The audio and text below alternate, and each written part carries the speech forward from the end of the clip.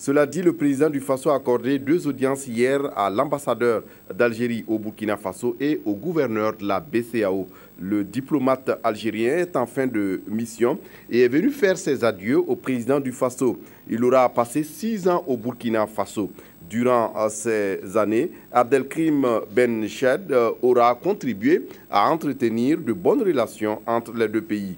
Au cours de son séjour burkinabé, euh, l'ambassadeur a posé des actions déterminantes comme euh, aider à l'annulation par son pays de la dette du Burkina Faso.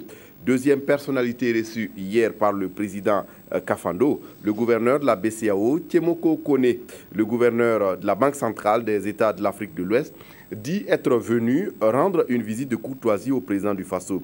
Il est venu également saluer les efforts du pays pour le dynamisme de son activité économique. Aruna Mare. En fin de mission au pays des hommes intègres, l'ambassadeur d'Algérie est venu faire ses adieux au chef de l'État. Abdelkrim Ben Chia en a profité pour faire le point des relations entre son pays et le Burkina Faso, tout en saluant l'exemplarité de cette coopération sud-sud. Je suis venu un peu pour le, saluer, mais également pour euh, lui donner quelques informations un peu sur tout le bilan de, euh, mon séjour euh, qui a dépassé les cinq années. Donc, j'ai fait une présentation assez, euh, assez exhaustive, je dirais, de toutes les actions de coopération.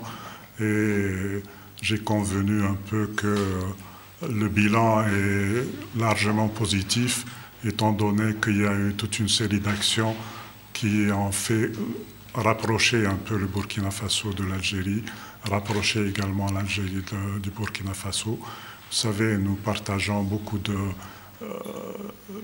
de positions communes sur les problèmes qui se posent un peu au niveau régional, les problèmes qui se posent au niveau international, mais également nous sommes préoccupés un peu à la situation qui prévaut à nos frontières.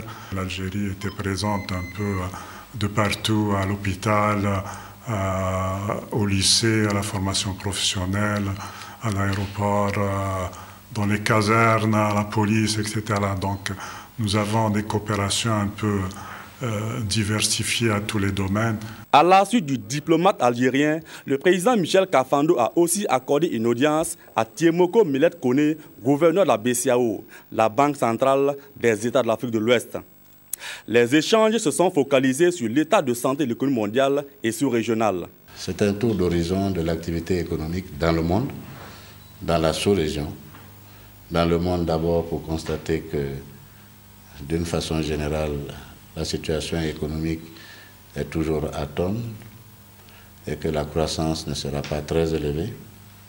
Dans la sous-région, pour saluer les efforts qui sont faits, surtout en matière d'investissement public dans les pays, et qui a maintenu un niveau de taux de croissance assez élevé, notamment 6,6% en 2014 et peut-être, pourquoi pas, 7,2% en 2015. Une croissance qui pourrait permettre de booster les efforts de développement des pays membres de la banque et surtout d'améliorer les conditions de vie des populations.